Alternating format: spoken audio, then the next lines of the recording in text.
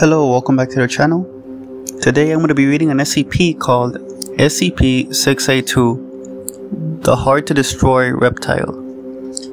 This SCP was suggested by Jessica.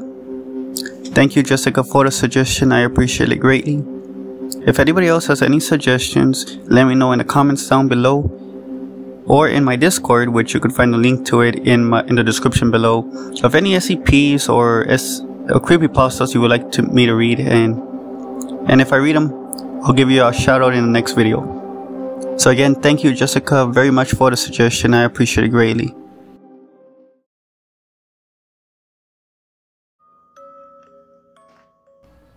SCP-682 must be destroyed as soon as possible. At this time, no means available to SCP teams are capable of destroying SCP-682, only able to cause massive physical damage. SCP-682 should be contained within a 5 meter by 5 meter by 5 meter chamber with 25 centimeter reinforced acid resistant steel plate lining all inside surfaces. The containment chamber should be filled with hydrochloric acid until SCP-682 is submerged and incapacitated.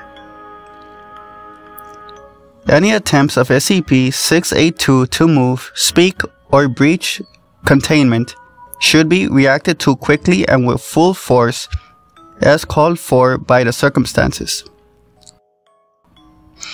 The personnel are forbidden to speak to SCP-682 for fear of provoking a rage state. Unauthorized personnel attempting to communicate with SCP-682 will be restrained and remove it by force. Due to its frequent attempts at containment breach, difficulty of containment and incapacitation, and high threat of Foundation exposure, SCP-682 is to be contained in sight The Foundation will use the best of its resources to maintain all land within 50 kilometers clear of human development. SCP-682 is a large, vaguely reptile-like creature of unknown origin. It appears to be extremely intelligent and was observed to engage in complex communication with SCP-079 during their limited time of exposure. SCP-682 appears to have a hatred of all life, which has been expressed in several interviews during containment. SCP-682 has always been observed to have extremely high strength, speed, and reflexes, though exact levels vary with its form. SCP-682's physical body grows and changes very quickly, growing or decreasing in size as it consumes or sheds material. SCP-682 gains energy from anything it ingests, organic or inorganic.